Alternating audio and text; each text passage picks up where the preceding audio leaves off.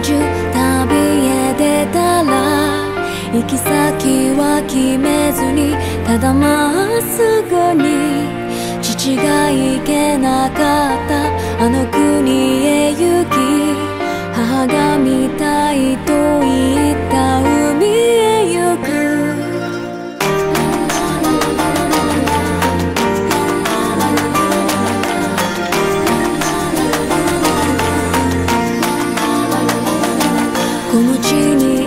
に足つけて歩いていると私は生きてると気づかされるの初めて息を吸ったあの日から足跡に彩りを加えてる愛する人の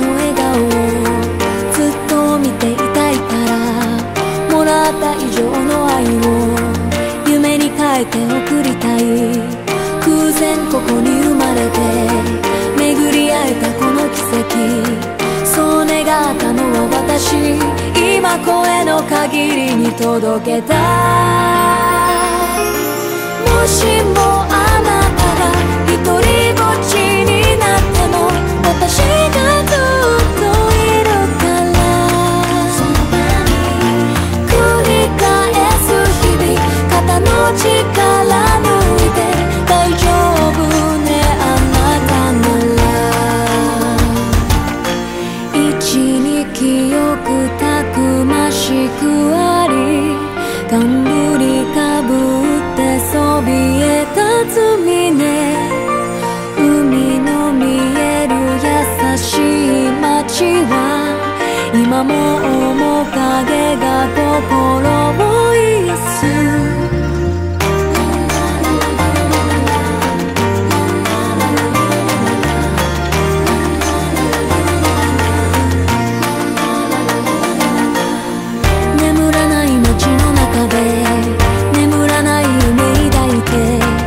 思議と誇れることと。